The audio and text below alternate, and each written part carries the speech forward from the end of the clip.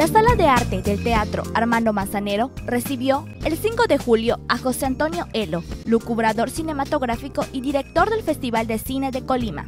Impartió una conferencia acerca del contexto de la producción nacional y de las oportunidades laborales que pueden gestarse en la península a partir del desarrollo de proyectos cinematográficos viables. Te puedo decir que estoy feliz de regresar a Mérida, es la tercera vez que vengo a dar un curso.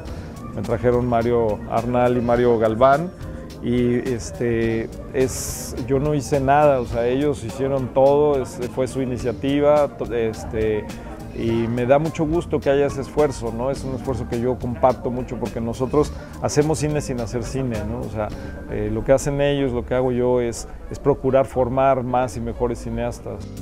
Junto con esta conferencia, a lo largo de la semana, José Antonio Elo impartió el curso titulado De la idea al rodaje, en el que plantea una metodología de nueve pasos, desde el momento en que se concibe la idea de una historia, pasando por la escritura del guion, hasta llegar al rodaje y obtener una producción exitosa.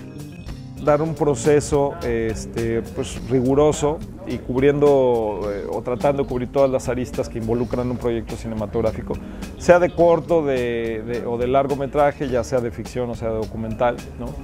Este, pretende cubrir todo esto, dar una, dar una forma de reducir el, margen de error, porque para hacer cine no hay fórmulas, en realidad es una expresión altamente artística y creativa. De esta manera, estudiantes, profesionistas y público interesado en la producción cinematográfica adquirieron conocimientos y herramientas para concretar sus proyectos. Si tú también estás interesado en el séptimo arte, y quieres conocer más acerca de este tipo de actividades, visita la página www.sinergica.org.